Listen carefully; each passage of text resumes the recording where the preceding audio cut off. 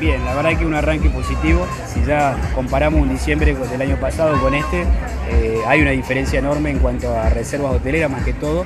Y también se ha visto un mayor movimiento tanto en Navidad como en, Año Nuevo. Eso ya lo han expresado las distintas cámaras de comercio, que se ha visto un, movimiento un poco más, más activo.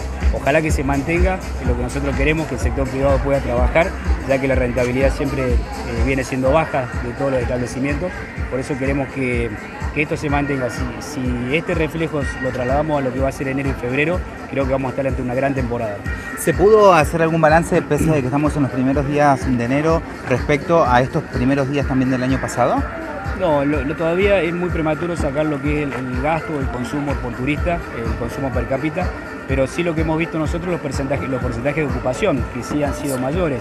Eh, nosotros hemos eh, hecho la comparativa de un diciembre con otro, con semanas o mismos reflejos, y la verdad que hay entre un 15 o un 20% de diferencia con respecto al año pasado. Y eso da una cierta tranquilidad y un cierto optimismo al sector, eh, hablando con distintos hoteles.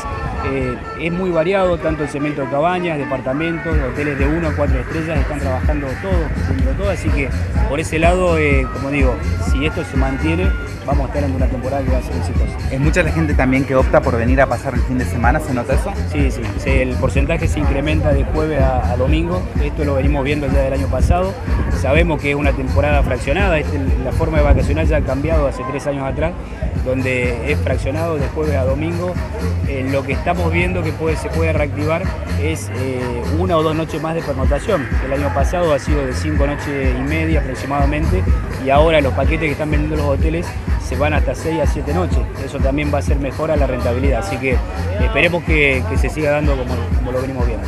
¿Qué movimiento se ve de familias, jóvenes?